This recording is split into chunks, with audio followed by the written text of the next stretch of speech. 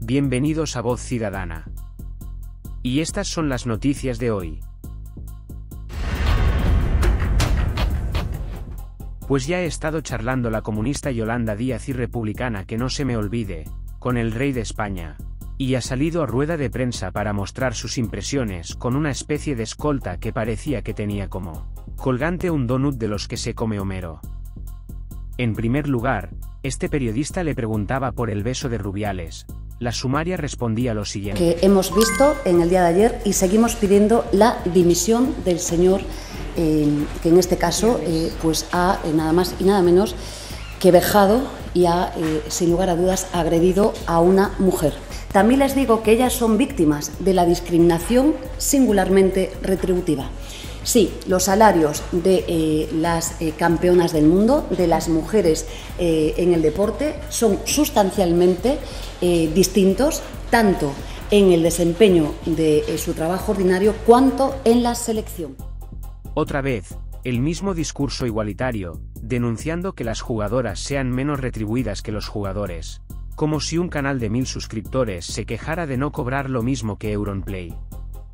Lo mejor estaba por llegar cuando se le escapaba, que lo lógico es que el rey elija a Fijo para la investidura, ya que los independentistas no se han presentado a reunirse con el rey, por lo que el monarca no puede saber los apoyos de Pedro Sánchez. cotejar de primera mano cuáles son los apoyos con los que cuenta el señor Sánchez. Pero creo que esta función no nos compete a nosotros y le compete a las autoridades eh, que tienen eh, que cumplir este papel. No voy a eh, hacer pública ninguna de mis conversaciones ni con el jefe de Estado, con el rey ni con nadie. Eh, y por tanto eh, comprenderán que discreción absoluta sobre esta cuestión y desde la certeza que el rey tomará escrupulosamente la decisión que estime conveniente. Por tanto, aquí lo voy a dejar. La sumarita se ponía bastante nerviosa y este periodista se lo tuvo que preguntar por segunda vez a una.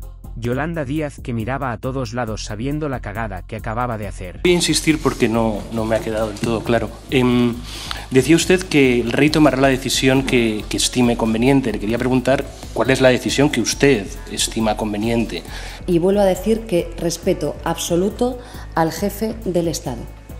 En segundo lugar, si me han escuchado en la primera pregunta que me han formulado, he dicho que hay formaciones políticas que han declinado ir a consultas y, por tanto, explicitar cuál es su voluntad acerca de los apoyos, acerca de los candidatos posibles eh, a la conformación de la presidencia del gobierno.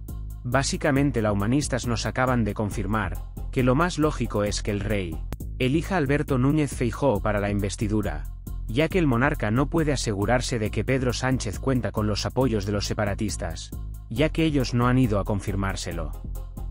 En este canal os contaremos la última hora de la decisión del rey.